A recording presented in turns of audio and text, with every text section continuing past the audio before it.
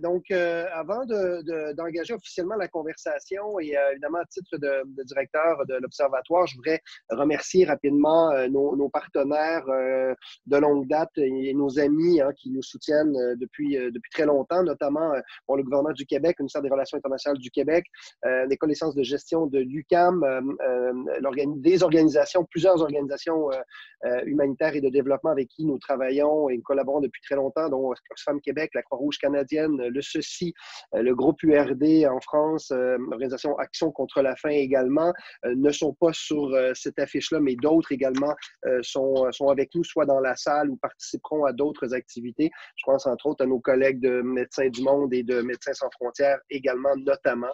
Alors, je ne peux pas nommer tout le monde, mais quand même, sachez que c'est des collaborations très appréciées. Et d'ailleurs, aujourd'hui, on, aura l'occasion de pouvoir euh, s'entretenir avec euh, quelques-uns euh, et quelques-unes de ces organisations, ben, à travers évidemment des, professionnels, hein, parce que c'est le, thème du jour. donc, comme Marie-Claude l'a mentionné, on va essayer d'y voir un petit peu plus clair euh, dans, cette, euh, dans, cette, euh, dans ce débat ou dans cet agenda-là sur lequel on, utilise le libellé, donc la professionnalisation de l'humanitaire. on aura donc l'occasion, et je vais les présenter dans quelques instants, de pouvoir discuter avec collègues et amis de, différentes organisations et, et chercheurs de l'Observatoire. mais avant de le faire, je me permets, si vous voulez bien, de, juste de vous donner quelques lignes sur qu'est-ce qu'on entend par professionnalisation et on va un petit peu partir de là.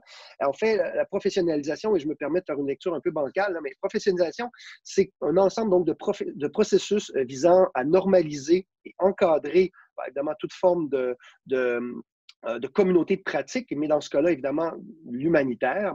Euh, évidemment, le fait d'engager un processus de professionnalisation et de normalisation dans un écosystème comme celui de l'action humanitaire, bien évidemment, crée des tensions. Alors, on a beaucoup de, perceptions, mais on peut les diviser un peu en deux, histoire de créer un peu une espèce de débat. On voit d'une part, évidemment, un courant qui voit dans la professionnalisation quelque chose de très positif parce qu'évidemment, euh, ça tend à aider à améliorer la qualité et l'imputabilité euh, des services et de la pratique humanitaire, donc la responsabilité aussi tant des individus que des organisations à faire un travail qui est encadré et normalisé.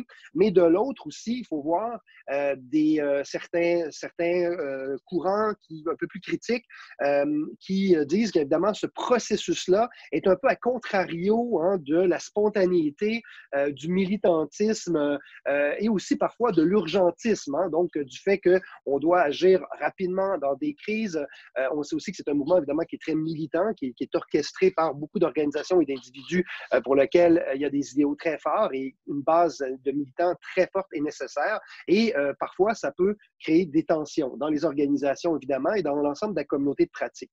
Alors, c'est ce, ça qui est en trame de fond, si vous le voulez bien, dans, ce, dans, ce, dans cette discussion que nous aurons donc euh, pour euh, les prochaines minutes. Alors, euh, juste pour vous, pour vous donner un peu une idée de notre petit agenda, donc on va évidemment discuter avec nos invités et par la suite, comme l'indiquait Marie-Claude, on pourra ouvrir des discussions avec vous. Ça sera à travers le, chat room, donc dans la barre de conversation que vous avez dans votre écran. et on pourra donc émettre ou soumettre les, questions ou les commentaires que vous avez à nos différents experts dans la salle. Alors, euh, je vais donc tout d'abord euh, les présenter un à un et euh, ensuite donner la parole à notre, notre, première, notre première experte. Donc, vous les présentez. donc, donc, nous avons Diane qui est évidemment, j'allais dire à ma droite sur mon écran. Donc, Diane Alaloufal, qui est doctorante en sociologie ici euh, à l'UCAM, euh, qui est coordonnatrice euh, et chercheur à l'Observatoire, donc à l'OCA.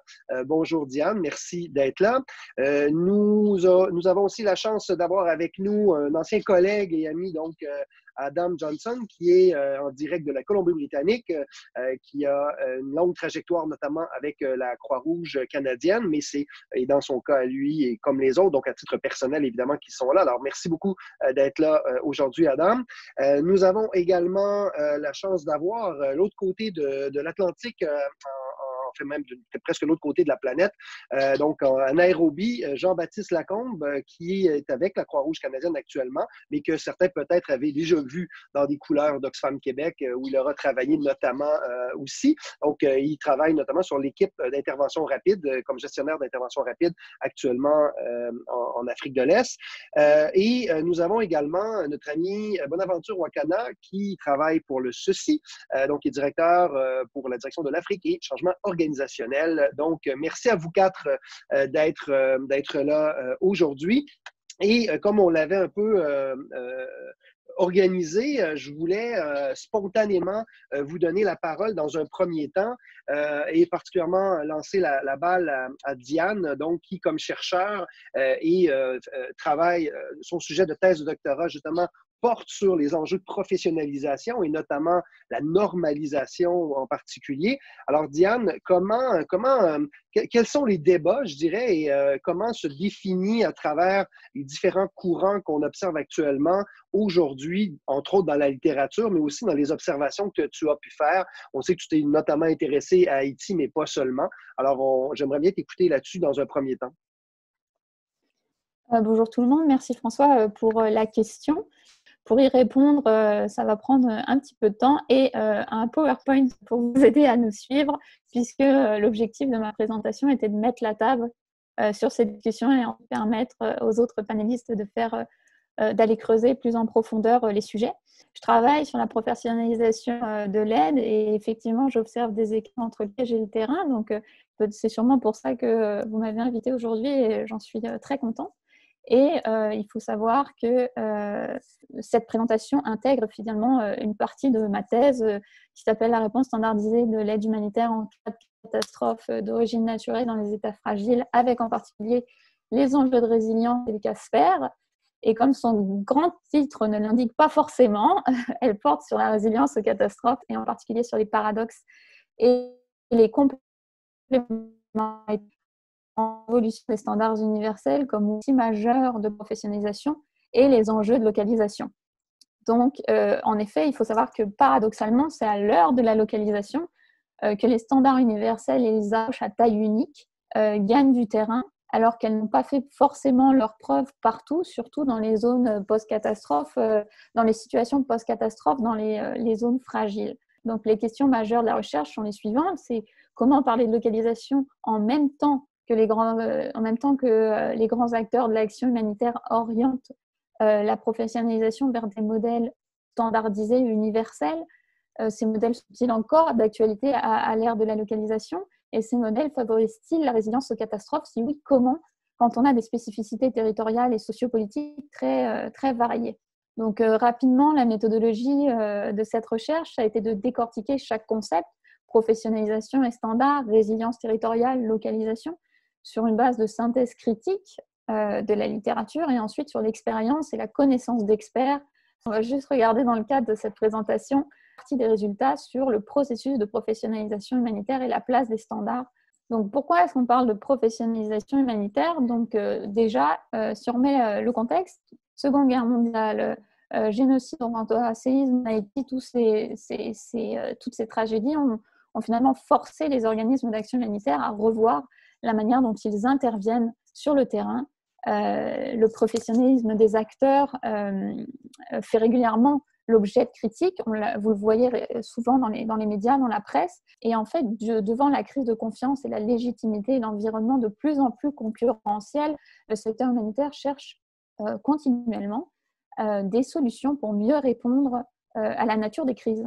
Et donc, l'une d'entre elles, dont on parle aujourd'hui, qui a commencé dès la fin de la Seconde Guerre mondiale, consiste à professionnalisation de l'action humanitaire et d'augmenter euh, son efficacité, euh, sa performance via des compétences techniques, des indicateurs liés euh, aux résultats et aussi augmenter sa redevabilité vis-à-vis des populations affectées. Donc évidemment, ce processus n'est pas linéaire, il, pas, il, ne s'est pas fait en un jour et il se fait donc étape, étape par étape événement après événement, euh, poussant à modifier les pratiques. Encore plus euh, au cours des deux dernières décennies, en raison de la hausse significative de la popularité de la, du concept de résilience, à mettre en parallèle l'augmentation des catastrophes et des enjeux tu parlais donc des, critiques médiatiques qui offraient une pression aux organisations, aussi de la nécessité pour les organisations de s'adapter à, la pression sur les résultats. On était donc sur la nécessité de ce, cycle de procédures et, et de bureaucratisation et de standardisation. Pour y parvenir, il faut bien comprendre la mécanique dont tu as commencé à parler.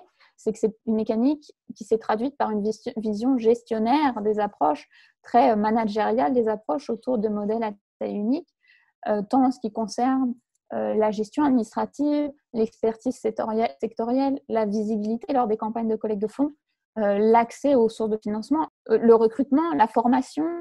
Donc, pour revenir sur cette approche gestionnaire managériale, je vous invite à lire le, livre de François sur comprendre les organisations humanitaires, développer les capacités locales ou faire survivre les, institutions. Là, vous aurez beaucoup d'informations. Ce processus est à distinguer en trois étapes. La première, la spécialisation, la procéduralisation en deuxième et la standardisation en troisième. Donc, toujours suite euh, à des événements euh, majeurs euh, dont on a parlé tout à l'heure, que ce soit la Seconde Guerre mondiale, enfin l'après-Seconde Guerre mondiale, l'après-crise du Rwanda, l'après-tremblement de terre et l'avenir nous le dira, l'après-Covid-19.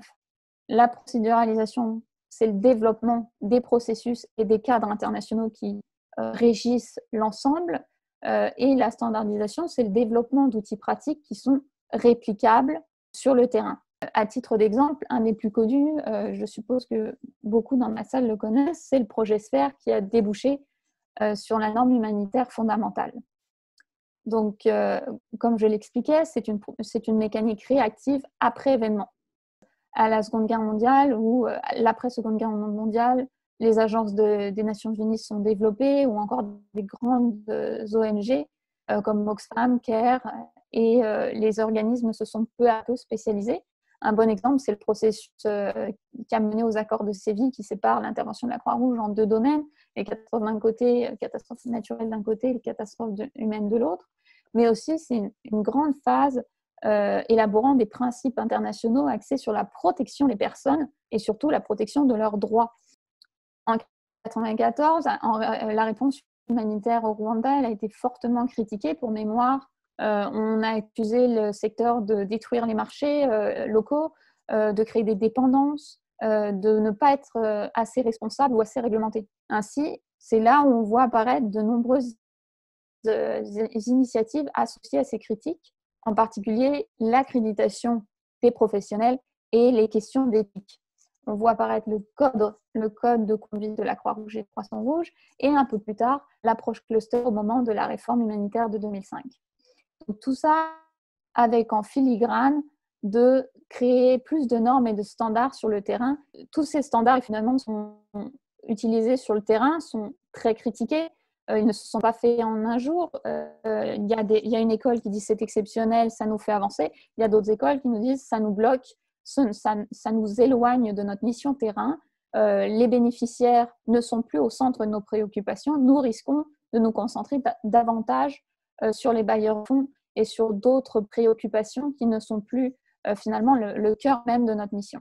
Donc ça, c'est ce qui a poussé un peu à revenir en post-C de 2010 avec un, recentrage sur la population et le contexte, puisque euh, euh, finalement, la prolifération de, ces standards et de cette professionnalisation très, très encadrée a fait que euh, on en a perdu, pour certains, le cœur même de la mission. Et on a exclu la population active locale et les ONG locales. Donc cette, post, cette période post-séisme est venue calmer cette course au standard pour recentrer vers des, euh, concepts qui seront d'autant plus euh, appuyés euh, lors des, du sommet d'Istanbul et engagés vers tous ces, ces, concepts de localisation, que ce soit en orientant les fonds vers des intervenants locaux, en améliorant les évaluations conjointes, etc. Donc c'est pour ça que même si ces standards proposent toujours une approche à taille unique. Le, grand courant euh, depuis, euh, depuis 2016 les pousse également à revoir leurs approches par des initiatives euh, plus conjointes et des outils qui s'intéressent aussi aux spécificités locales, que ce soit ou aux crises prolongées.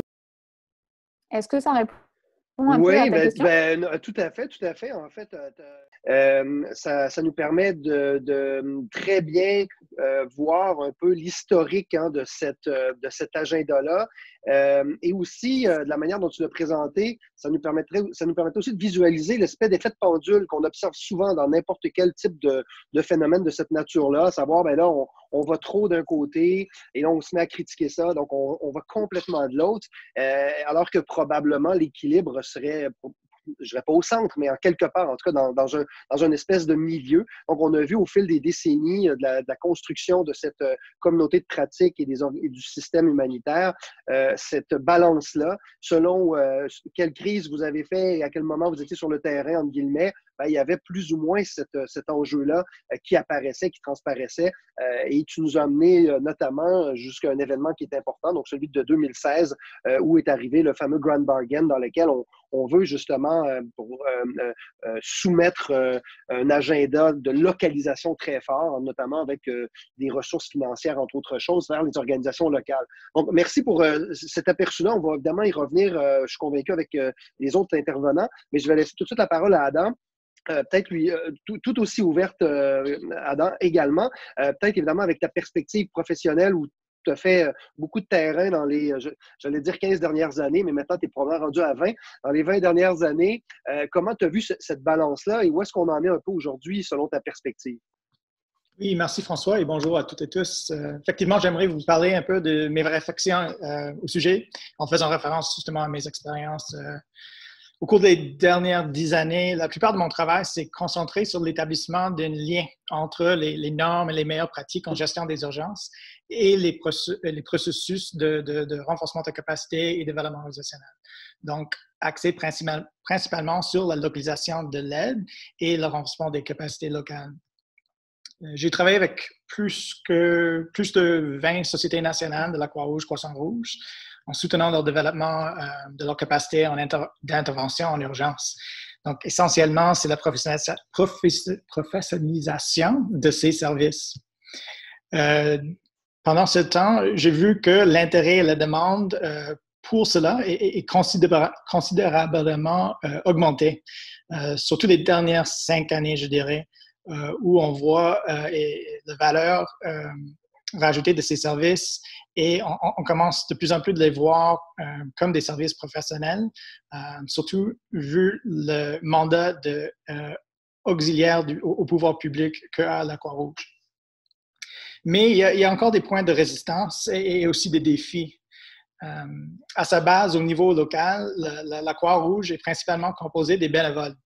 Donc, une question à laquelle euh, nous faisons face souvent, c'est de savoir si on peut professionnaliser un service qui est fourni par les bénévoles, ou principalement par les bénévoles, ou à, quel point on peut professionnaliser un service fourni par des bénévoles. Euh, également, euh, on se pose la question de comment professionnaliser un service qui est géré par une gouvernance souvent volontaire ou bénévole je, vois qu'il y a une augmentation d'intérêt euh, à la professionnalisation des services, à la fois avec les, organisations humanitaires locales, voire les, Croix-Rouges, les sociétés Croix-Rouges, Croissant-Rouge, euh, et aussi de leurs partenaires, euh, partenaires internationaux et organisations humanitaires et donateurs. Mais il y a aussi ceux qui pensent, ceux qui pensent toujours que l'essence de la secteur humanitaire est quelque chose qui, qui va en opposition ou à l'encontre de les efforts de professionnalisation et de bureaucratisation surtout. Euh, moi, j'ai commencé mon travail avec la Croix-Rouge euh, ici au Canada en tant que bénévole. Et je le mentionne souvent lors que je travaille avec les sociétés locales de la Croix-Rouge, car ça, ça, renforce souvent la confiance et, ça me relie, relie euh, à une fraternité qui se sent souvent attaquée par les forces de donateurs et, de l'international. Je pense que certains estiment que les, tentatives d'établir des normes et les standards étouffent la créativité, l'agilité, l'adaptabilité euh, qui est à la base de la succès ou la valeur ajoutée de la secteur. Il y a d'autres euh, qui refusent de voir les organisations humanitaires comme la Croix-Rouge euh, comme des partenaires légitimes dans l'offre de, des services euh, essentiels, justement parce qu'ils ne sont pas professionnalisés avec des standards bien établis. Ici au Canada, par exemple, j'ai participé à les, opérations d'intervention suite à les inondations, les incendies et aux pandémies de la COVID-19. Et tant que ce travail est toujours euh, en partenariat avec les corporations et en coopération avec les auxiliaires, euh, avec les autorités locales et le gouvernement. Euh, et souvent, c'est bien accueilli, c'est apprécié par certaines. il y a d'autres qui nous voient avec un certain scepticisme ou cynisme même, vu qu'ils nous voient comme hors de les, services, les services du public, voire santé ou urgence. Euh, ceux, d'entre nous qui essayons d'établir des normes et des standards, nous avons souvent du mal à parvenir à un consensus sur l'unification des standards et des processus. Euh, même au sein d'une organisation, euh, ça peut être difficile, même pour organisations comme, comme les, sociétés Croix-Rouge, Croissant-Rouge, qui sont unifiées par une fédération. Même nous, on a du mal à s'entendre sur un consensus sur les, les, standards et les bonnes pratiques. Ceci est encore compliqué euh, davantage par le fait que les autorités locales et, les gouvernements locaux, ils aussi, ils ont souvent des normes différentes que celles des agences de donateurs euh, et que les agents de donateurs, entre eux, ont des fois des, normes ou des standards différents. Euh, dans l'ensemble, je pense que le professionnalisme du secteur humanitaire est essentiel et possible, euh, je ne vois pas cela comme contradictoire avec le cœur ou l'essence euh, du, travail humanitaire. Euh, je crains, par contre, que, si l'établissement des standards professionnels ne se sont pas faits d'une manière participative, qui, qui aborde l'aide humanitaire d'une perspective, d'un point de vue où on le voit à sa base au niveau local et, national, nous, nous risque de, de, euh, davantage une approche coloniale à l'humanitaire et de euh, d'avoir euh, une, difficulté de, de, légitimiser le secteur au niveau national et local. Merci. Merci, merci Adam. Une perspective donc plus évidemment plus pratique compte tenu de, ton parcours. Euh, je retiens, avant de laisser la parole à, Jean-Baptiste, donc évidemment, le, défi du consensus. Euh, donc, je pense que globalement, il n'y a personne qui se remet en question la tendance actuelle. C'est de savoir à quel rythme elle se fait, comment elle se fait, et surtout, est-ce qu'il y a des normes euh, euh, qui peuvent être les mêmes pour tout le monde. Euh, et c'est déjà difficile dans un même pays pour une même organisation, euh, et un complexe comme la Croix-Rouge, comme ça peut être extrêmement difficile au niveau international de tenter d'uniformiser l'ensemble de ces normes-là. Et je retiens évidemment ton commentaire final excessivement important et encore plus que jamais dans, dans ce qui se passe aujourd'hui dans nos sociétés donc, euh, de voir peut-être la professionnalisation avec euh, une perspective décolonisante, euh, donc de, de, veiller à ce que les, les, grilles d'analyse et de, de construction de ces guides-là et de ces normes-là ne soient pas bâties sur euh, des perspectives post-coloniales, disons-le comme ça, euh, mais euh, que cette approche participative-là soit pas juste quelque chose de figuratif, mais soit vraiment quelque chose de structurant dans, la, dans l'évolution, en tout cas, de, de cette localisation. et ça, c'est, à mon avis, extrêmement, extrêmement important. Merci, merci beaucoup. je vais donc laisser la parole maintenant à, à Jean-Baptiste. Écoute, même chose pour, pour toi. Comment toi, tu le perçois à travers ta trajectoire? tu es, euh, euh, je crois que depuis les deux dernières années, euh, particulièrement donc en Afrique. comment ça s'observe actuellement de ton côté, Jean-Baptiste? En termes de trajectoire humanitaire, j'ai travaillé autant pour Médecins sans frontières, qui est très, très militante, mais qui n'a pas beaucoup d'ancrage en termes d'organisation locale sur le terrain. ensuite, avec Oxfam, qui a un gros réseau de plaidoyer de développement puis de, relations avec des, des, organisations locales, surtout des organisations de la société civile à la Croix-Rouge, qui est très basée sur le réseau de volontaires pour les sociétés nationales, comme euh, Adam le mentionnait. Donc, c'était super intéressant de voir les distinctions professionnelles puis les distinctions dans les approches euh, des différentes organisations par rapport au, euh, travail humanitaire puis aux opérations. À la base, je pense que la standardisation puis la, création de standards est importante. Chaque humain, chaque personne qui fait face à des catastrophes naturelles ou à des défis doit s'attendre à un certain niveau de qualité dans les opérations et on ne peut pas s'improviser euh, médecin ou infirmier ou euh, gestionnaire des eaux et finalement euh, avoir des impacts négatifs, le, fameux concept du doux noir. Par contre, le point que j'aimerais faire aujourd'hui, c'est comment on opérationnalise ces standards-là. Euh, c'est-à-dire, quand on amène des nouveaux standards, qu'on amène des nouvelles procédures, euh, comment on fait pour s'assurer que dans notre organisation, la fin en soi de l'opération ne soit pas la réponse à ces standards-là, à ces processus-là, mais que l'objectif ultime de chacune des opérations est le service aux populations affectées?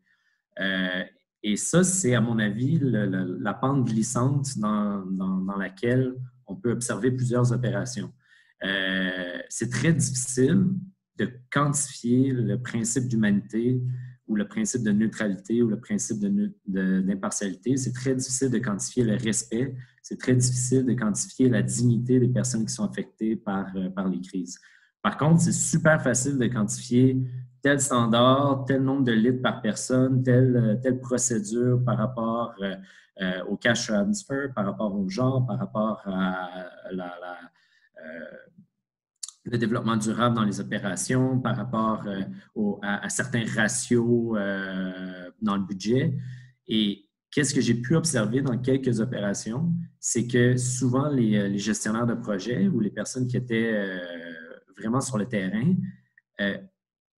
orientait les opérations, qui orientait les activités pour répondre aux standards et aux processus. Euh, plus, parfois, ça se faisait au bénéfice de la population affectée, mais parfois, euh, la population affectée était, oubliée. Euh, donc, il y a certains standards par rapport aux évaluations terrain, à la représentation des, des populations dans les, dans les évaluations. Et là, bon, regardez les ratios. Bon, les, personnes qui devaient être consultées ont été consultées, mais finalement, on se rendait compte que oui, les gens étaient consultés, mais les opérations ne répondaient pas aux attentes de, la consultation. Donc, au final, comment on fait pour avoir un bon équilibre entre euh, les, éléments intangibles qui, sont, à mon avis, le cœur des opérations humanitaires, le, cœur du principe d'humanité, et ces standards-là? Euh, et avant le panel, j'ai fait, fait un petit peu de recherche aussi parce que j'ai l'impression que le secteur se, spécifie de plus en plus en termes de, de, de diplômes et de professionnalisation technique des, euh, employés. Euh, donc, j'étais sur le site de, Relief Web, qui est un des, plus gros sites où il y a le plus de postes. Et j'ai juste pris les, les 20 premiers, les 20 premiers postes. 100% de ces postes-là avaient un master, un, niveau maîtrise qui était obligé ou fortement recommandé.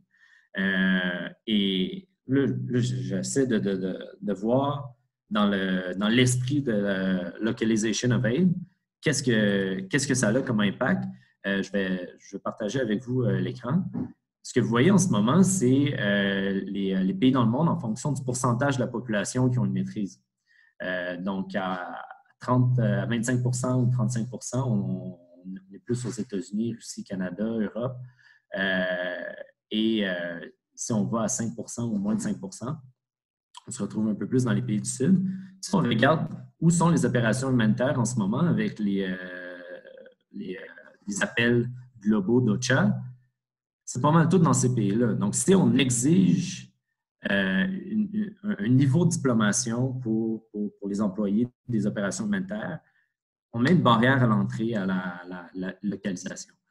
Et j'ai pu constater sur le terrain que souvent, une personne qui avait un background comme volontaire dans, une Croix-Rouge nationale, qui avait énormément d'expérience, euh, qui a participé à des workshops, euh, qui a fait des formations spécialisées par rapport aux organisations, par exemple comme CALP pour le cash transfer, avait beaucoup plus d'outils que quelqu'un qui était frais euh, débarqué d'une maîtrise en études internationales à Genève. Euh, mais le milieu continue à prioriser le niveau maîtrise, euh, l'éducation dans les universités, plutôt que la, formation à travers les, workshops sur le terrain, à travers l'expérience. Et, je crois qu'il faut un peu réorienter et savoir quelles sont les capacités qu'on cherche chez les travailleurs humanitaires plutôt que les diplômes qu'on cherche? Euh, en termes de leadership, en termes d'intégrité, en termes de coordination, de gestion de conflits, euh, de résolution de problèmes, d'aller chercher ces capacités-là à travers des évaluations, à travers des formations spécialisées, va avoir beaucoup plus d'impact qu'une professionnalisation technique euh, et professionnelle à travers les, les diplômes des universités. Donc, c'est ça que je voulais partager avec vous aujourd'hui. Euh, mais très heureux de répondre aux, euh, questions subséquentes. Merci, euh, merci beaucoup. Très intéressant cette corrélation-là qui, évidemment, est souvent pointée du doigt dans, les processus de recrutement, surtout des organisations occidentales, évidemment, et particulièrement des organisations occidentales. C'est très, très pointé du doigt cet accès au diplôme. je, crois pas me tromper en disant qu'il y a quand même eu une évolution euh, je, ne connais je pourrais pas me prononcer sur euh, l'exigence d'entrée parce que clairement, je crois que ta, démonstration euh, confirme que ça, ça, ça se maintient.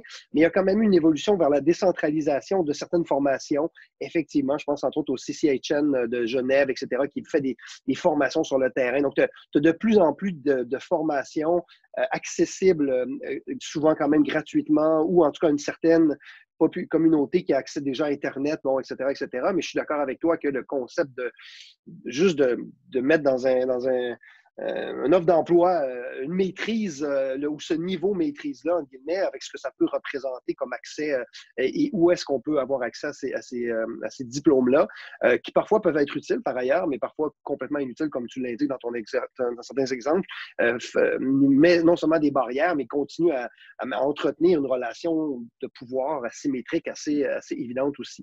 très intéressant et je suis convaincu qu'on va y revenir. Et d'ailleurs, c'est vers là que, peut-être que je vais tendre la perche euh, pour Bonaventure.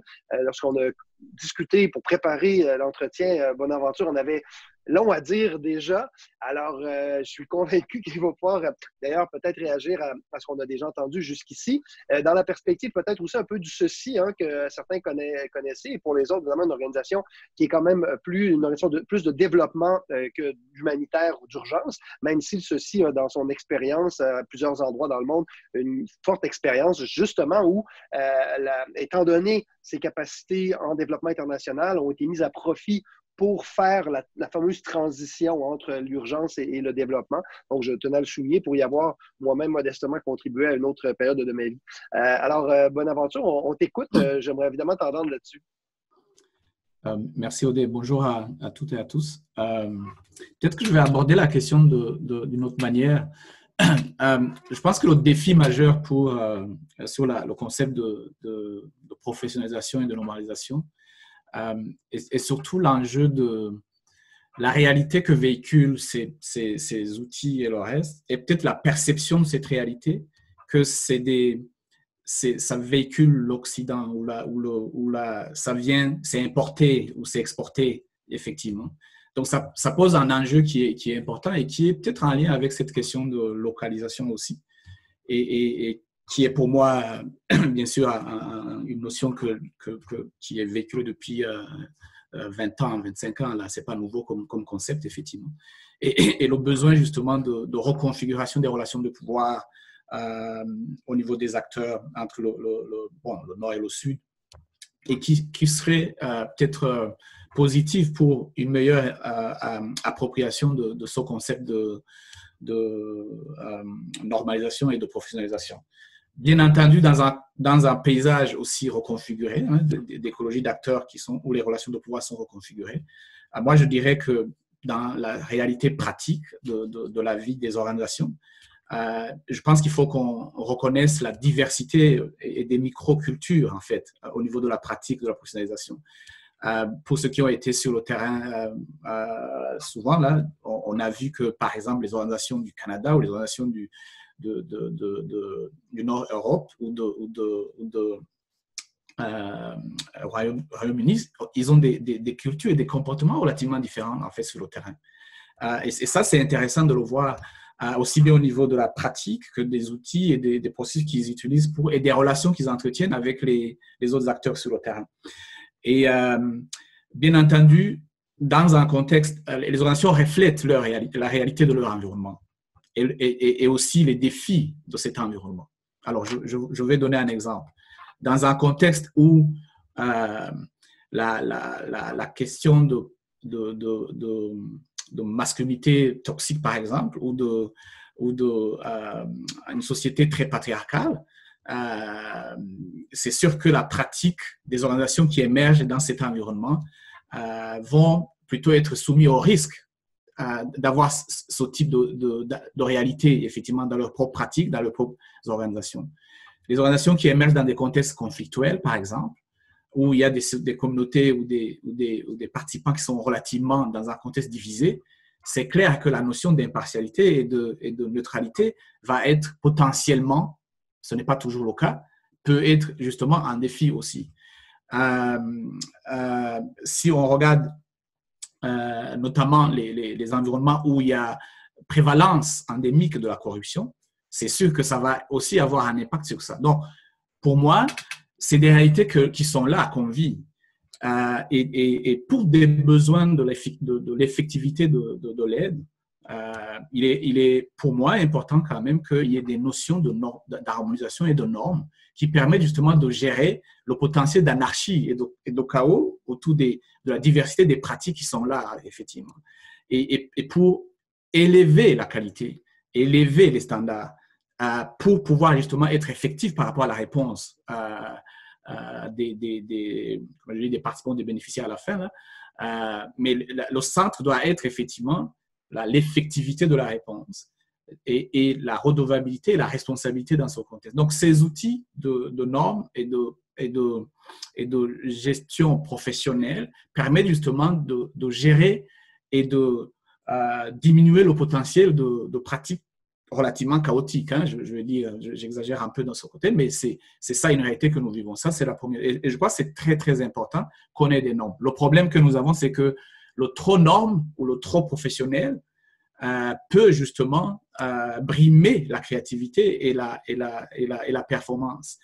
Et, parfois, ça marginalise ceux qui sont capables peut-être de ne pas être, euh, comment dire, de, livrer dans la perspective un peu de programmatique et, d'activisme et, d'influence, mais qui ne sont pas nécessairement imbibés de toutes les pratiques de gestion professionnelle lourde.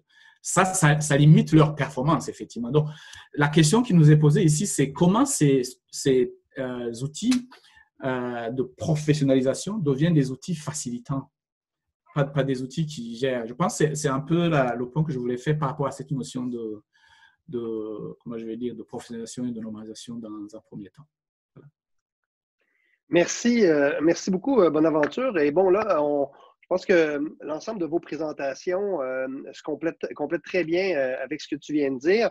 je, je, en fait, l'utilité ou la finalité, en fait, une des finalités euh, c'est euh, évidemment d'essayer de contrôler le chaos. Euh, une crise humanitaire en soi, par définition, ben, c'est le chaos, c'est l'anarchie.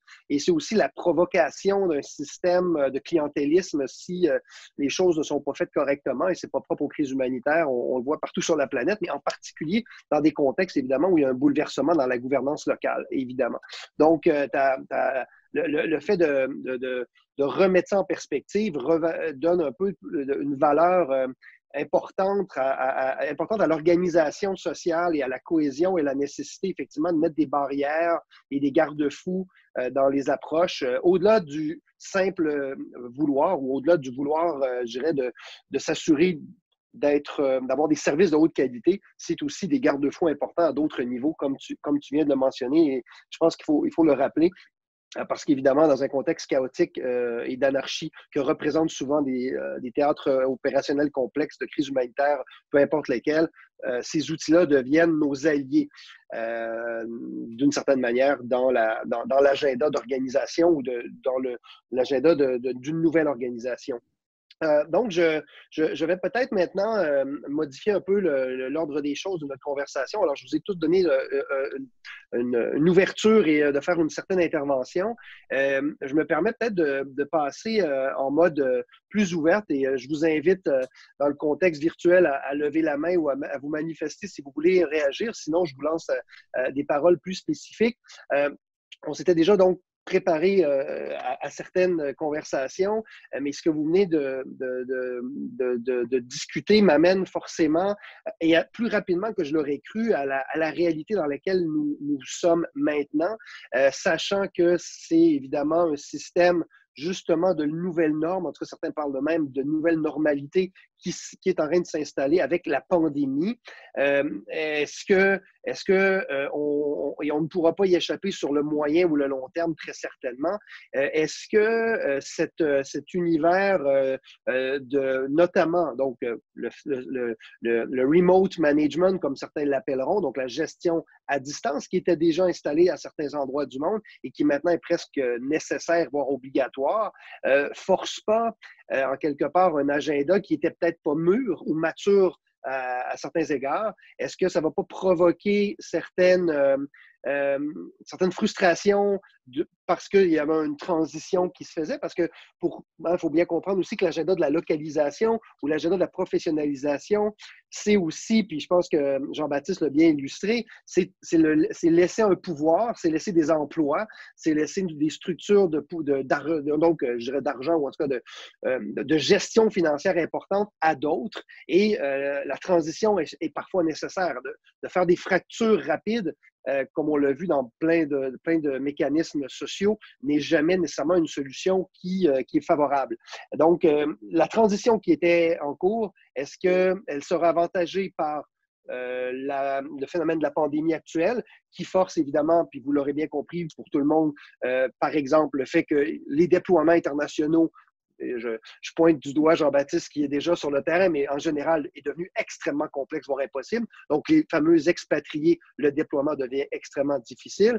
Euh, et ce faisant, par contre, rend avantage à un agenda de localisation et on le souhaite d'une professionnalisation. Est-ce que, par exemple, euh, Jean-Baptiste, peut-être voudrais-tu réagir là-dessus. Est-ce que ça ne forcera pas notamment euh, des organisations qui ont des postes ouverts actuellement, littéralement, dans lesquels il y a des critères justement très occidentaux de, de, diplôme, à transférer rapidement vers des candidats qui ne répondent pas à ces critères-là, mais vers d'autres types de critères qui seront un peu compensatoires et qui permettront quand même d'avoir des gens évidemment professionnels, mais qui ne répondront pas à une administration qui est plutôt euh, occidentale, disons-le comme ça. Comme ça.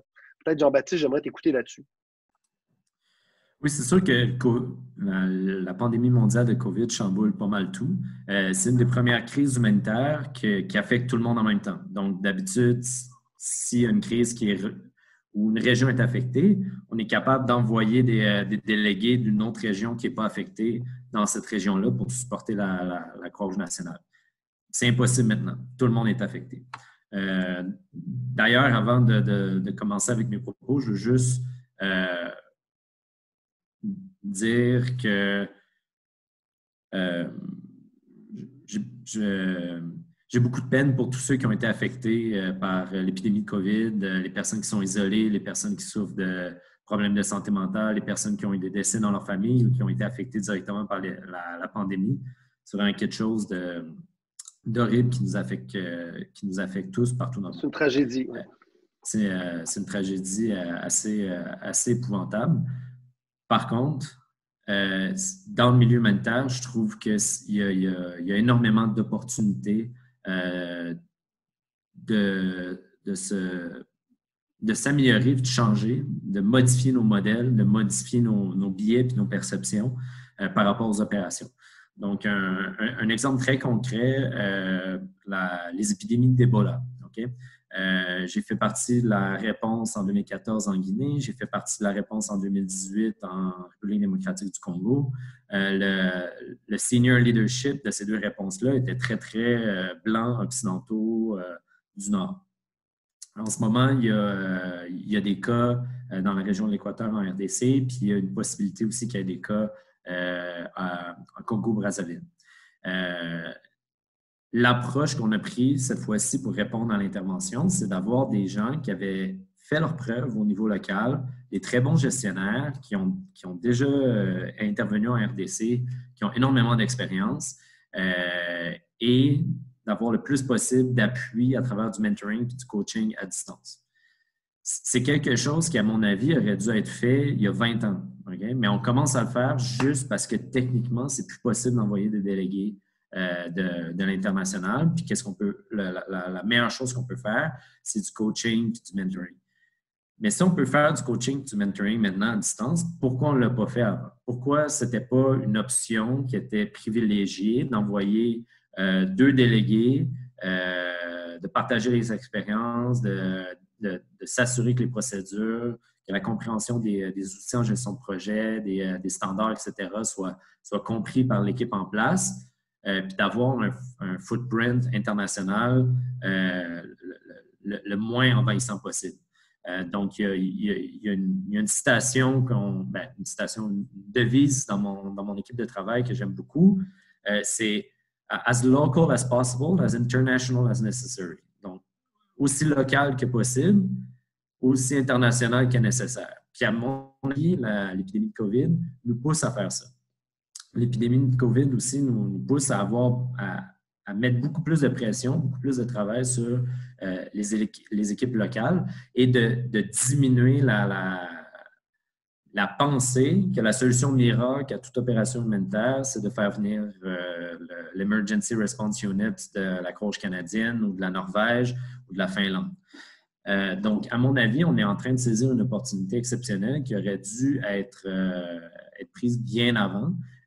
Et Qu'est-ce qui est sûr, c'est qu'il va y avoir euh, des, échecs et il va y avoir aussi des victoires. Donc, il va y avoir des fois où est-ce que ça ne va pas marcher du tout, euh, qu'on ne va pas réussir à atteindre le même niveau d'efficacité, le même niveau d'opérationnalisation qu'on voulait dans, les, standards qu'on cherche à atteindre. Mais il y a d'autres exemples où, au contraire, on va voir que les résultats sont encore plus positifs qu'on l'espérait, euh, que, les résultats dépassent nos attentes, puis dépassent même les, euh, standards de l'ancien système qu'on avait. Euh, donc, à mon avis, c'est une très, très bonne, très, très bonne opportunité pour la, localisation et aussi de redéterminer les paramètres d'une réponse humanitaire efficace. Merci, euh, merci euh, Jean-Baptiste. J'aimerais peut-être, euh, parce que je vois qu'il y a déjà des, questions de, la salle qui viennent nous, nous animer également. Puis comme le temps passe, j'aimerais quand même qu'on intègre, intègre quelques-unes de leurs propos. Et ça va exactement dans le sens où, Jean-Baptiste donc nous, nous explique concrètement comment la, tragédie de la pandémie est une opportunité je ne veux pas utiliser le mot réinventer, mais en tout cas de, promouvoir ou de faciliter certaines, euh, certaines des, euh, cet agenda-là de, la localisation.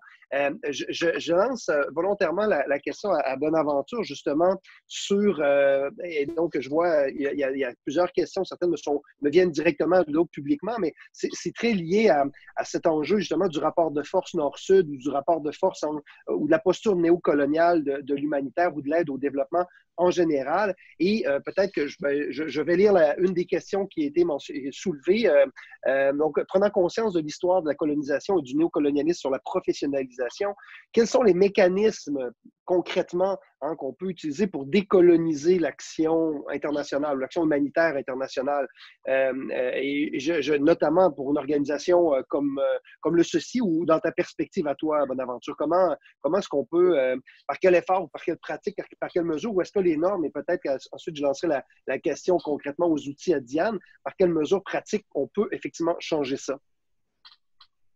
C'est une, une, question très, très complexe, en fait. Mais ben, je, pense que c'est d'abord l'intention et l'envie de le faire, effectivement, je, crois. Écoute, aujourd'hui, euh, ça fait sept mois qu'on est dans la crise euh, pandémique. et, puis, euh, combien d'organisations ont arrêté leur projet, leur programme aujourd'hui? Ben, Je pense que la plupart continuent, en fait. Ça fonctionne toujours.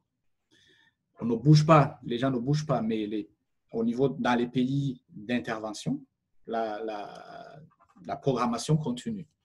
On n'a pas encore fait le point sur les, les, comment dire, les, les défis aujourd'hui, mais globalement, ça marche plus ou moins.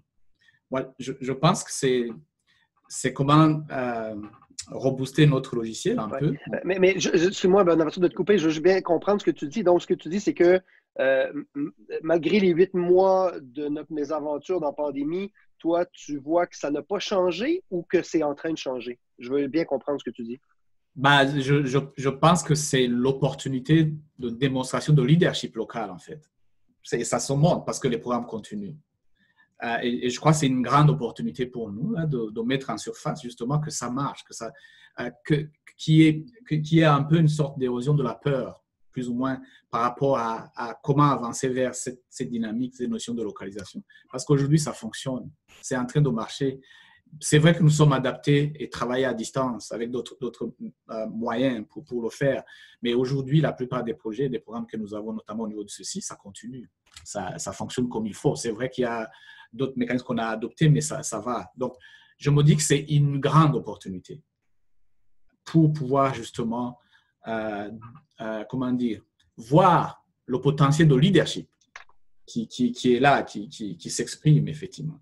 En même temps, je vois un, enjeu, c'est que le contact physique et l'engagement commun euh, crée un croisement quand même assez intéressant en termes de, connaissances, d'expérience et de, euh, je veux dire, et de, réalité, de vie, hein, euh, qui, amène de la valeur immense, en fait.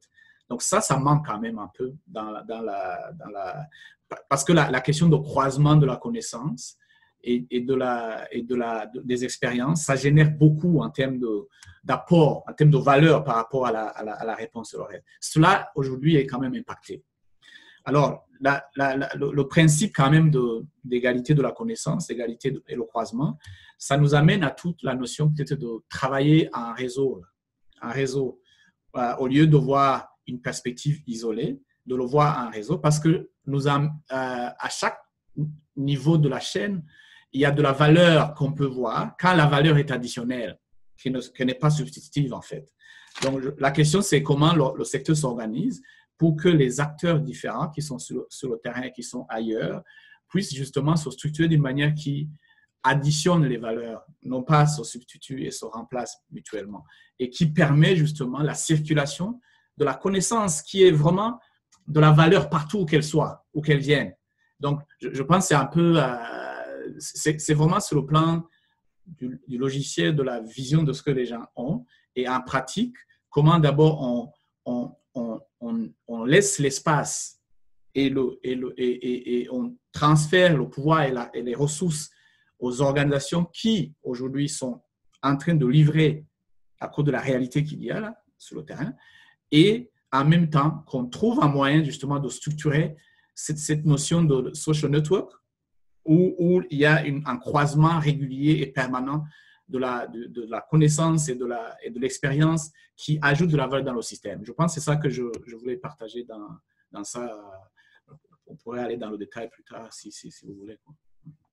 Merci, Bonaventure. Euh, j'ai euh, quelque chose pour Adam, euh, mais euh, avant, je voulais peut-être lancer euh, laisser Diane réagir sur ben, les outils, les normes, comment ces outils-là, ces normes-là, comment, de ce que tu observes à, à tout le moins dans tes recherches actuelles, est-ce qu'on peut voir poindre euh, euh, des mécanismes d'ouverture de cette nature-là. Parce que comme Bonaventure vient, de le dire, et j'ai bien aimé, bon, euh, tu n'as pas parlé de posture, mais tu as parlé d'intérêt et d'intention. et je me permets aussi d'utiliser un concept qui, euh, que m'a révélé euh, Marie-Claude Savard, donc qui fait aussi son doctorat euh, sur les enjeux de relations Nord-Sud, l'enjeu de la pluri, d'univers, d'univers plurivers. Donc finalement, qu'il y a moyen d'une construction et d'une, mutualisation, et tu l'as dit, Bonaventure, de, de, création de richesse ou de valeur mutuelle.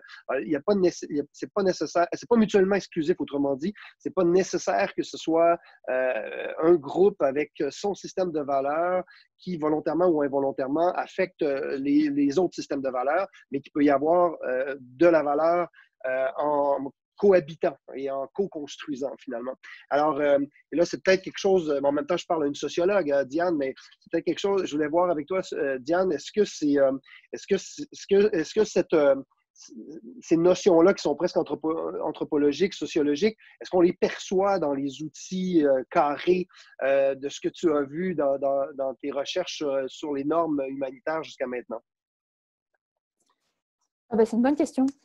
déjà parce que, comme je l'expliquais tantôt, et puis pour faire du pouce aussi sur, les propos de Bonaventure et, de Jean-Baptiste, est-ce que la COVID-19 va être un nouveau jalon pour la professionnalisation et du coup pour les, standards Probablement, au moins, ça aura un effet accélérateur sur certaines choses qui ont été entamées déjà depuis 2016. Est-ce qu'on va pouvoir rattraper les objectifs d'Istanbul qui n'ont pas forcément été atteints comme on le voudrait? Est-ce que ça va changer quelque chose?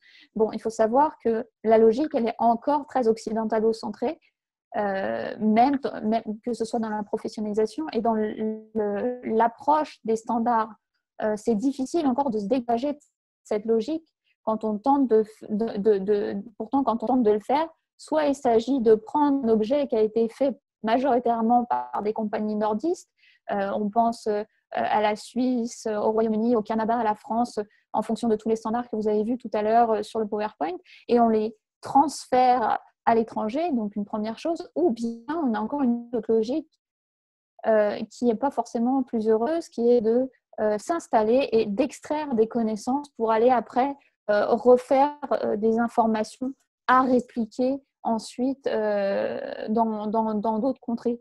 Donc la, la, la, difficulté, c'est que les outils sont encore très nordistes, ils sont pensés par le Nord pour des crises du Nord et s'appliquent assez bien au Nord, mais ont des grosses barrières à l'entrée, euh, comme l'accès inégal aux connexions Internet, pour participer au débat et du coup intégrer les discussions.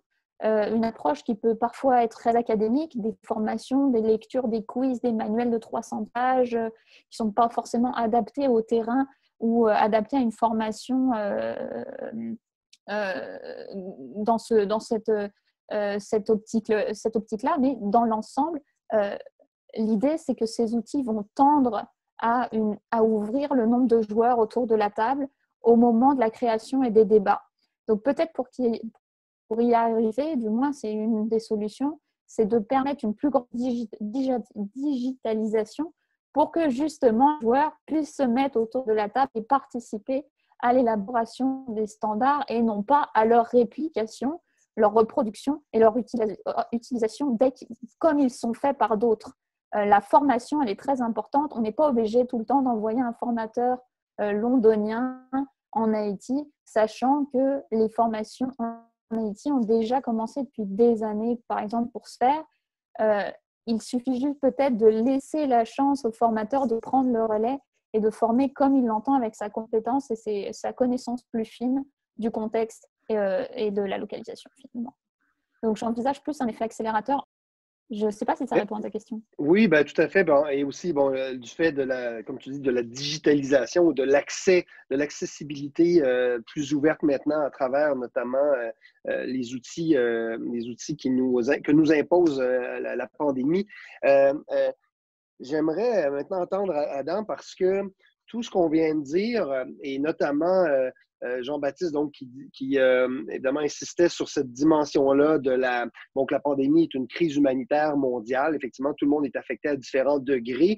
Euh, dans le cas d'Adam, ce qui est intéressant, et j'aimerais peut-être que tu prennes quelques instants pour le, nous, le partager, la Croix-Rouge canadienne a fait un, transfert justement de compétences très intéressantes, je pense, en allant chercher au fil des dernières années, la Croix-Rouge canadienne, au fil des dernières années, peut-être même un peu avant, l'expertise humanitaire internationale pour ces opérations domestiques. Et on a évidemment eu quelques, quelques euh, enjeux importants, inondations, euh, feux de forêt et tout ça, mais euh, qui aujourd'hui, et notamment c'est ce que tu as fait ces, huit derniers mois surtout, d'utiliser cette expertise de gestion de pandémie dans, des, dans une opération domestique occidentale, justement.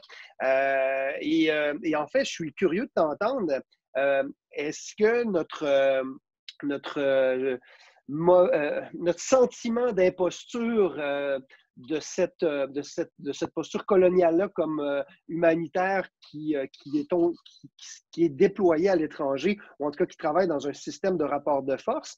Est-ce qu'il s'est vécu inversement pour toi ici au Canada comme étant quelqu'un qui arrive avec une expertise étrangère, mais dans ton propre pays, avec des institutions canadiennes, avec des gens qui ont eu des diplômes occidentaux, etc., dans un langage qui est le tien? Et pour faire la parenthèse rapide, notamment, Adam a, travaillé dans les CHSLD, en tout cas en coordination avec les opérations de la Croix-Rouge canadienne dans les CHSLD euh, du, Québec. Donc, ça vous donne un aperçu de ce qu'il a fait aussi, malgré son bagage international. Alors, j'aimerais t'entendre autrement dit, est-ce que, est-ce que l'imposture euh, internationale qu'a l'humanitaire est aussi quelque chose qui se vit quand ça devient ici, ici dans des opérations domestiques, finalement? Je pense que nous qui travaillons dans le secteur humanitaire, on a une tendance de le, voir comme quelque chose euh, qui se fait à l'étranger. Euh, et en fait, l'aide humanitaire, euh, l'action humanitaire, ça se fait au niveau local, que ce soit ici au Canada en temps de crise, au Kenya ou peu importe où. Et, quelque part, je pense qu'on oublie ce fait et, on, on l'approche trop souvent en le voyant comme quelque chose qu'on fait ailleurs. Euh, et c'est justement euh, ce dynamisme de postcolonialisme, je pense, que, de quel tu parles.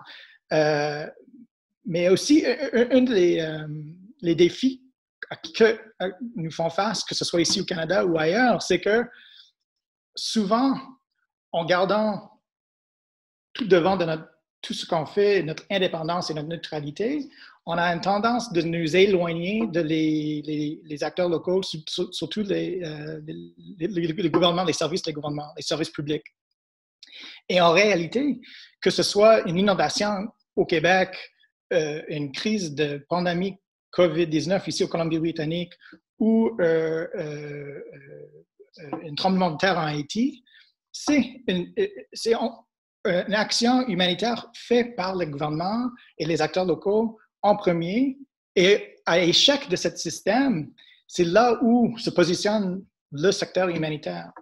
Moi, ce que je trouve intéressant, c'est que quelque part, justement parce que la pandémie de COVID-19 touche autour du monde, je pense que ça nous rend compte du fait que l'humanitaire, ça se fait chez nous comme ailleurs et que c'est les acteurs locaux qui ont le mandat premier de répondre. Et c'est sur ce base qu'on devrait partir et renforcer. Euh, j'espère que euh, on va dans la direction de voir que pour bien faire ce travail, il faut que les, normes et standards pour lesquels on parle pour la professionnalisation se basent sur les meilleures pratiques et que c'est des meilleures pratiques euh, définies par les critères d'une perspective locale et non internationale je te donne quelques exemples des défis à laquelle j'ai fait face en travaillant dans un, contexte domestique en tant que humanitaire international. Nous, on a des standards et des normes du secteur humanitaire, mais qui sont alignés à les normes et les standards internationaux du secteur et non de euh, le secteur de santé au Canada ou au Québec, par exemple. Donc, si on veut être euh, efficace et efficiente et avoir un impact dans une pandémie au Canada, en travaillant avec le ministère de la Santé au Québec, il faut qu'on ait en mesure d'aligner nos standards à la leur. Et ça, c'est vrai que ce soit au Québec, ou Colombie-Britannique, au Kenya ou au, Haïti. Donc, hmm. c'est bien de parler de les standards et les, les, normes au secteur d'une perspective internationale. Mais quelque part, il faut aussi y penser à comment ça s'aligne au niveau local, où se fait le travail euh, humanitaire. Très, euh, très intéressant et en fait aussi, euh, je crois que en fait, finalement, l'humanitaire sera toujours un agent extérieur, d'une certaine façon, venant répondre euh, à une situation pour laquelle les autorités locales ou l'acteur local n'a pas la capacité de protéger l'ensemble de sa population. mais évidemment, là j'ai dit quelque chose qui peut paraître très gros, mais à l'inverse, l'acteur local est toujours le premier répondant.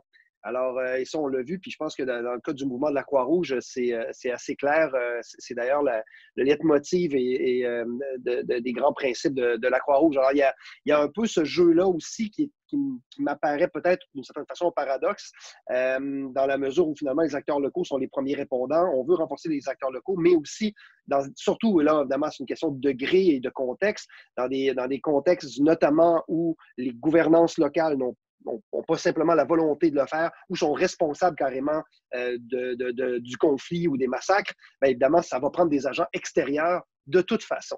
Alors, on, est, euh, on est toujours un peu dans une perspective pour laquelle on ne peut pas non plus laisser une, une communauté de professionnels humanitaires en stand-by euh, sachant évidemment, parce que ça, c'est un enjeu, puis il y a des questions, peut-être que vous les voyez, dans, vous les verrez dans la barre de questions, il y a beaucoup de questions qui s'en viennent, notamment dans la rotation du personnel. Euh, est-ce que, est-ce que justement cette, euh, la localisation et la promotion de l'employabilité locale ne permettrait pas justement d'éviter autant de, de, rotation ou de mouvement de personnel dans l'humanitaire. Enfin, c'était j'essayais de, répondre à la question qui aussi qui était posée euh, plus spécifiquement. Il y a une question euh, sur laquelle euh, je, veux rebondir qui vient du, public, qui vient de, Michel. donc, je, vais vous la lire. Est-ce qu'il n'y aurait pas lieu de promouvoir une plus forte collaboration entre les acteurs pour atteindre une économie d'échelle, justement, et une harmonisation au niveau des formations? Alors, je répète, est-ce qu'il n'y aurait pas lieu de promouvoir une collaboration entre les acteurs euh, pour atteindre une économie d'échelle et euh, d'harmoniser les formations? Euh, c'est très intéressant. Est-ce que c'est réaliste? Euh, je vous pose la question. Est-ce que quelqu'un veut réagir? Peut-être, euh, Jean-Baptiste, je te, mets cette question un peu plus difficile de ton côté, étant donné que tu as regardé notamment les enjeux des, postes d'entrée, des critères de, pour, pour les professionnels qui veulent, qui se cherchent un emploi dans le domaine. Comment tu vois cette question? Comment tu peux voir une réponse à cette question? Euh, donc, on fait des économies d'échelle, mais on a moins de services de proximité. C'est-à-dire que les gestionnaires, les personnes qui vont être capables d'identifier les problèmes, qui vont être capables d'être à l'écoute de, la clientèle, de la, population affectée, euh, sont, beaucoup plus loin. Euh, donc, toutes les opérations sont plus macro. Donc, oui, on peut faire des économies d'échelle, mais ça a un prix. le prix, c'est la proximité auprès de la population. Euh, donc, à mon avis, dans l'humanitaire, on a toujours euh, des, axes euh, sur lesquels ce qu'on priorise va affecter un autre aspect fondamental de l'aide humanitaire. Donc, par exemple, quand on fait une opération suite à un cyclone, il y a d'un côté l'efficacité. Donc, est-ce qu'on envoie tout le matériel nécessaire? Est-ce qu'on est fait toutes les évaluations terrain? Euh, est-ce que qu'est-ce qu'on envoie, c'est seulement le matériel qu'on a besoin, puis pas trop, euh, pour pas euh, dépenser de l'argent dans du matériel qu'on n'aura pas de besoin? On peut arriver à un très, très haut niveau d'efficacité puis d'efficience. Par contre, en termes de rapidité de l'intervention, rapidité de la réponse, rapidité du déploiement, on, va perdre du temps en faisant tout ça ou bien on a une approche qui est no regrets. Euh, on, envoie la cavalerie, on, accepte le risque qu'on n'a pas toutes les données, qu'on n'a pas toutes les informations. Euh, on est très rapide, mais euh, peut-être qu'on arrive, puis l'opération fait quoi? Parce qu'on a envoyé beaucoup trop de personnel, on a envoyé des chirurgiens alors que, que, ce n'est pas tout à fait nécessaire, etc. etc. coordination, c'est le, même principe. On peut faire des économies d'échelle en, en ayant des très, très bons mécanismes de coordination. Par contre, ça peut être un peu plus lourd. Ça, ça, empêche les équipes d'être un peu plus spontanées et indépendantes dans leur, euh, euh, dans leur travail. Donc, je pense que c'est une, très, très bonne question. Euh, il y avait aussi une question par rapport au niveau de rotation du personnel local. question d'engager les personnes locales, est-ce qu'on diminue le la rapidité des, rotations, puis on... le, roulement de personnel. Oui, on, diminue le roulement de personnel, puis on, améliore la, mémoire institutionnelle. Oui, mais quelque chose que j'ai pu remarquer, c'est que souvent, euh, on n'offre pas les mêmes conditions euh, de travail au personnel local qu'au personnel international. Et si on déploie quelqu'un, par exemple, quand j'étais à Manguina, dans le, dans le Nord Kivu, c'est un endroit où est-ce qu'il y avait quelque chose comme 15 différentes milices armées dans une épidémie d'Ebola. on ne peut pas rester deux ans là-bas puis rester sain d'esprit. Euh, on a besoin de, rest and recovery, on a besoin de vacances, on a besoin de congés. Euh, et, souvent, ces, euh, ces, politiques de ressources humaines n'étaient pas appliquées au personnel local, ce qui crée évidemment du stress, de la, fatigue professionnelle, des problèmes de santé mentale, de l'épuisement.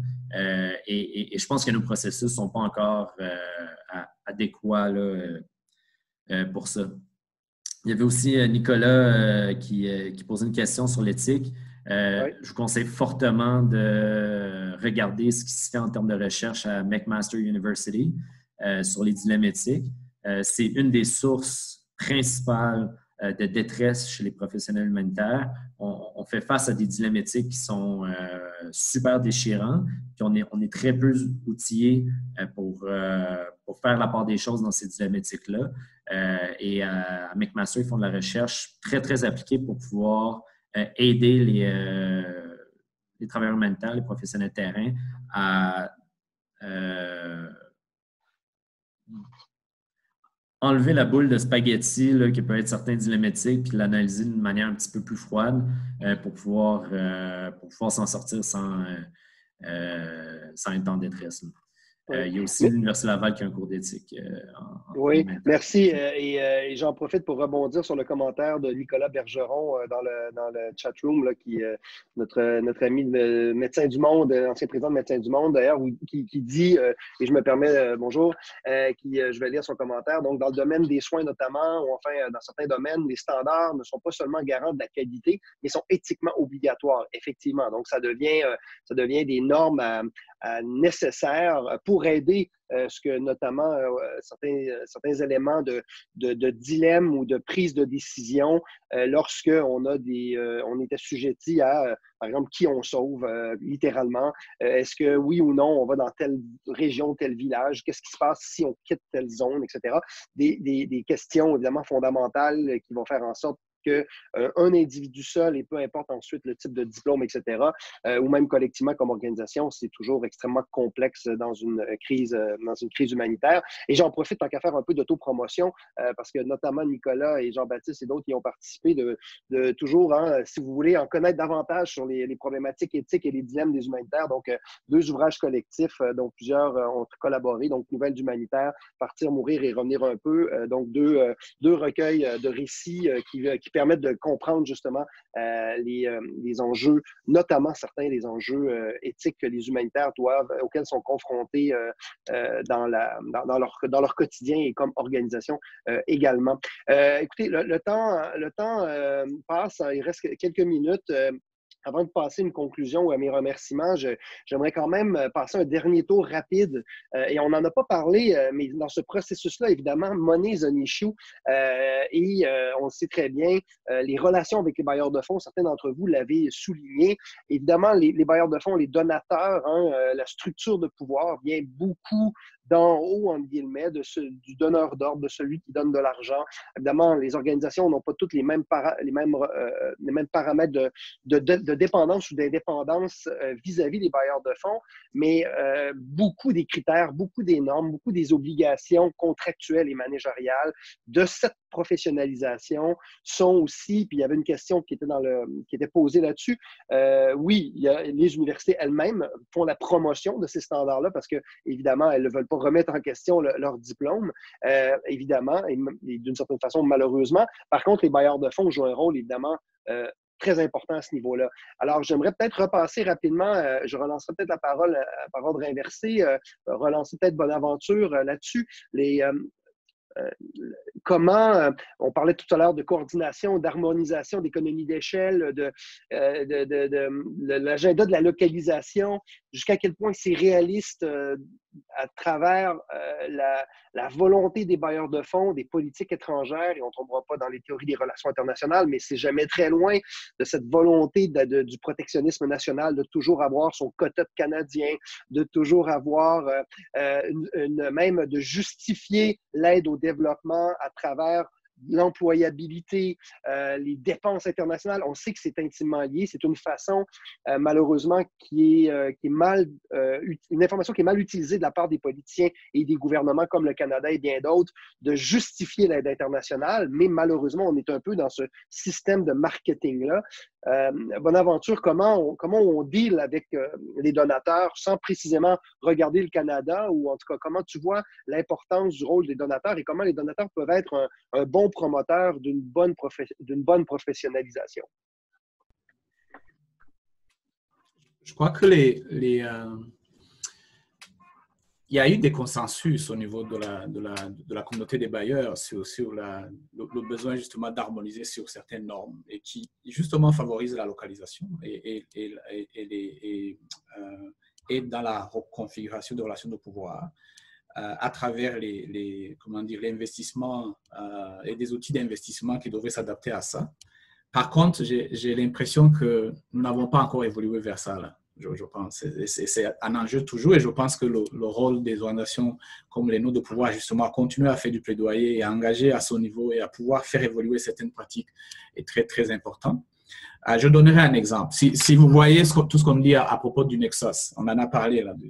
Alors, euh, comment, par exemple, les bailleurs, euh, au niveau humanitaire, au niveau développement, pourraient justement harmoniser sur la transition entre l'urgence et le développement et avoir des outils communs d'investissement qui, qui, arrivent à casser cette rupture entre l'urgence et ça pourrait vraiment aider beaucoup dans ce processus. Mais pour le moment, on n'y arrive pas parce que les, les, les ça reste toujours, euh, comment dire, d'une manière un peu divisée et séparée. Euh, mais c'est la même chose pour la question de localisation.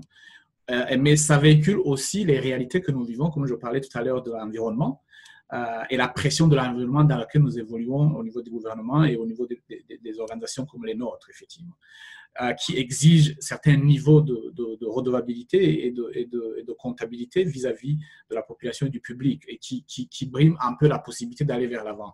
Alors, moi, je, je, pense que c'est un débat qui est toujours sur la table et je pense que notre rôle euh, de pouvoir justement euh, engager euh, les bailleurs et, à, faire évoluer certains systèmes qui aujourd'hui ne sont pas facilitants, hybrides, hein, effectivement, est très important pour la, pour la suite. et, comme, comme vous le dites, Monsieur Audet, c'est clair que si les bailleurs s'engageaient à être plus dans, dans, son mode, ça pourrait vraiment accélérer parce que ça devient des leviers en fait pour aller. Parce que la bourse et la décision aide justement à débloquer les, les, les, les contraintes qui sont là-bas. Merci, Bonaventure. Euh, Adam, pour ton, de ton côté, en faisant aussi un, peut-être un wrap-up de tes idées là-dessus, parce qu'on va terminer dans quelques minutes, euh, la, relation euh, sans équivoque avec le, le, bailleur de fonds dans cette perspective de professionnalisation-là. Oui, ben pour revenir à mon point de l'importance de baser les, les, les, normes et les standards sur les, meilleures pratiques comme définies au niveau local. Je pense que les bailleurs de fonds, ils ont un rôle à jouer pour euh, assurer qu'il y a suffisamment de financement, euh, d'études de cas euh, au niveau local qui utilisent des critères locaux et non forcément internationaux. Donc, les bailleurs de fonds, ils ont un, rôle à jouer à faire le lien entre l'académie et, et, les organisations d'aide humanitaire, surtout au niveau local. Ça, c'est une chose. Une deuxième réflexion là-dessus, c'est que j'ai beaucoup travaillé sur la localisation de l'aide à travers les partenariats où les organisations humanitaires comme la Croix-Rouge commencent à comprendre et voir que on doit mieux se coordonner, s'aligner pour euh, euh, rendre plus efficace notre, notre aide et renforcement, surtout à, nos sociétés nationales sœurs Croix-Rouge. mais un de les et souvent, c'est quelque chose qui est soutenu et même une, une, entente de nos bailleurs de fonds. Mais euh, il y a aussi des, défis à s'aligner quand chaque bailleur de fonds a des critères, a, des, façons de travailler, surtout au niveau de la gestion des projets différentes. Donc, ils ont des standards et des normes différentes euh, pour la gestion des projets qui vont dans le contresens de l'alignement et la coordination. Donc, quelque part, les bailleurs de fonds, ils ont un travail à faire entre eux de s'aligner pour assurer qu'ils travaillent tous de les mêmes normes et standards qu'ils exigent de nous en tant qu'organisation humanitaire. Une troisième réflexion, c'est que, et je reviens sur mon point de où se positionne l'aide humanitaire comme secteur en fonction des urgences. Et, c'est bien pris, votre, votre, réflexion sur le fait que en cas d'échec total de, des services rendus par les, pouvoirs publics, il y, a, une forte nécessité pour une aide humanitaire indépendante et, à part. Mais dans beaucoup d'autres cas, il faut commencer à voir que l'aide humanitaire, c'est un complément, c'est une extension, c'est un renforcement. Donc, qu'est-ce que ça veut dire pour les barres de fonds? Mais ça veut dire qu'eux aussi, ils doivent le voir d'une perspective locale, euh, sur la base les, standards et les meilleures pratiques locales, mais aussi les demandes. Donc, au lieu d'être une force de euh, push force, ils doivent être plus euh, flexible pour euh, fonctionner au cas des besoins et non de mm. leur euh, insistance. Même au Canada, par exemple, il y a eu euh, une certaine complexité du fait que c'était par un mandat fédéral, national, pour lequel la Croix-Rouge canadienne se retrouvait à renforcer le, ministère de, le ministère de Santé au Québec. Ben, c'est parce que quelque part, c'est eux qui ont pris comme mandat euh, renforcement d'un certain secteur et non d'être à l'attente d'une demande de renforcement. Et, c'est sûr que ça existe au niveau euh, international comme national.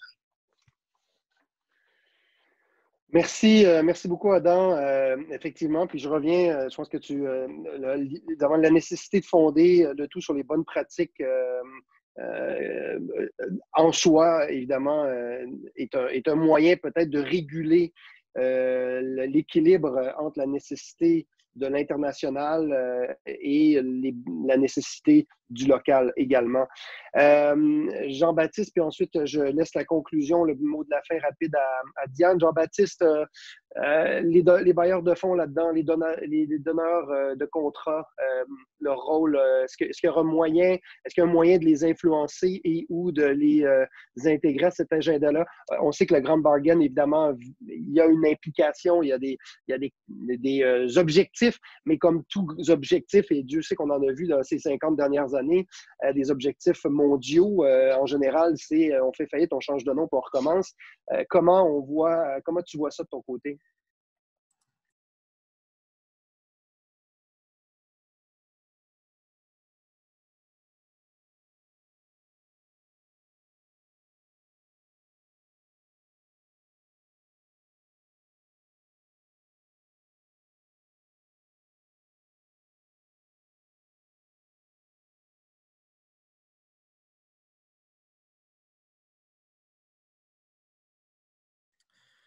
À mon avis, les, deux gros enjeux, c'est d'essayer de diminuer les limites administratives euh, qui sont imposées par les bailleurs de fonds.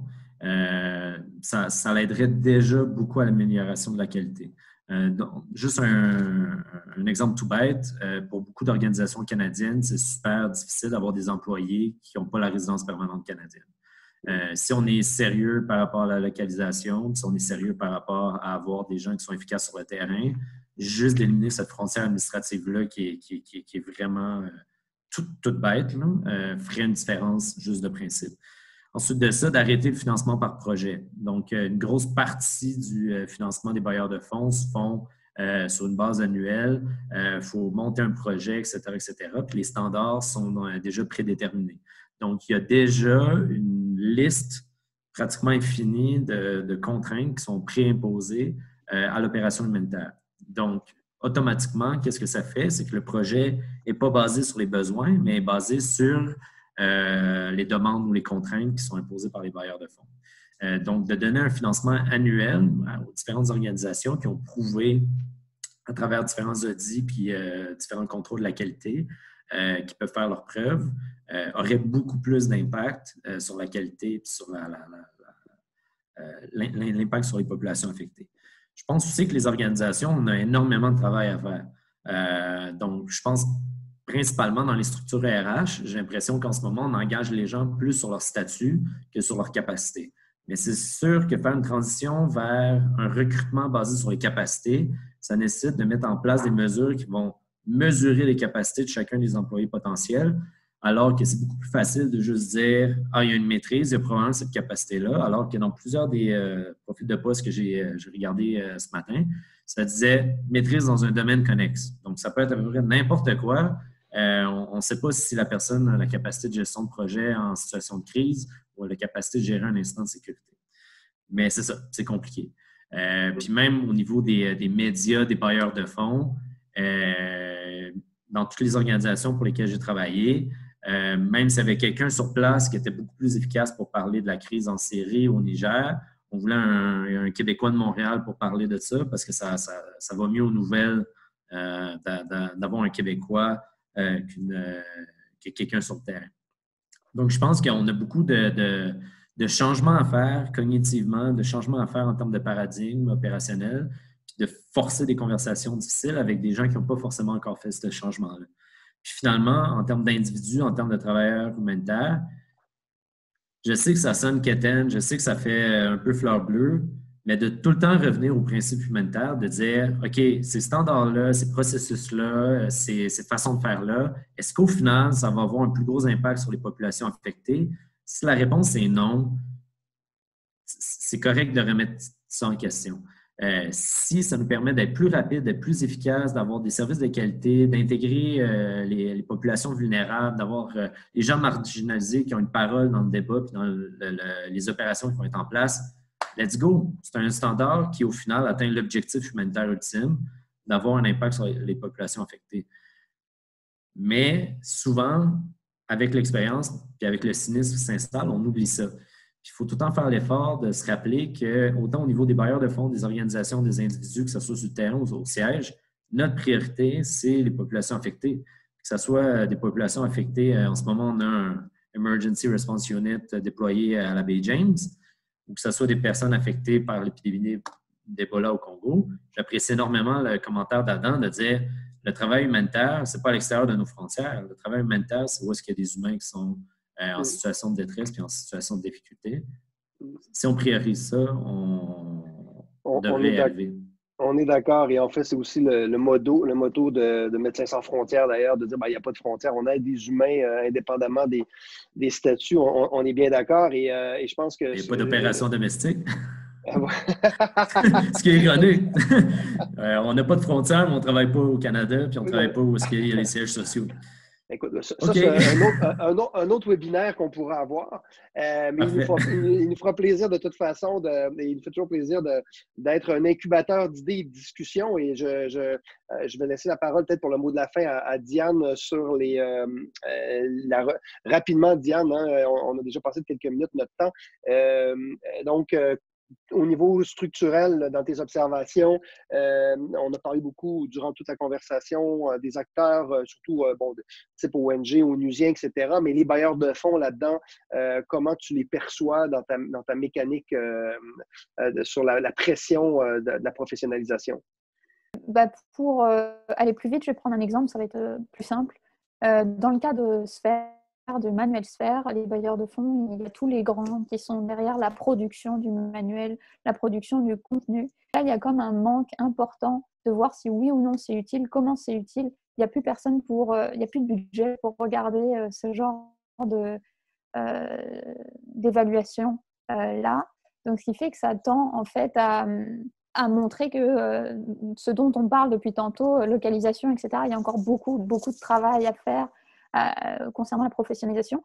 Mais moi, je veux quand même euh, accentuer le fait que si on avance un peu dans le bon sens, il y a aussi le retour le, revers de la médaille. Il ne faut pas non plus euh, tomber dans le risque d'établir, de voir s'établir une sorte de sous-traitance à distance ou de mécanisme d'extraction des données ou de l'information à la place d'une véritable complémentarité de co-construction dans les partenariats. Voilà, c'était ça mon mot de la fin. Ben, merci. Ça, ça, je crois que autant les quelques mots euh, sur les principes euh, qui ne sont pas du tout fleur bleue d'ailleurs, que ce que tu viens de raconter, Diane, mettent un peu les, les, contours et les paramètres finaux de ça. Donc, si on a des, si on a des principes et qu'on ne les regarde pas, on les, on, les tient pas en compte dans nos processus décisionnels, je crois que évidemment on, échappe l'essentiel. Et tu fais, tu fais, bien de le mentionner et, ça a d'ailleurs été mentionné dans le chat room. Merci. Euh. Alors écoutez, euh, merci à tous. Je crois que c'est, en tout cas, comme je disais tout à l'heure, euh, pour nous à l'Observatoire, c'est notre le mandat qu'on se donne, c'est justement de servir d'incubateur de ces conversations-là, en français de surcroît, et évidemment de tenter de créer des ponts, de, de, manifester et de promouvoir la diversité des, des, opinions.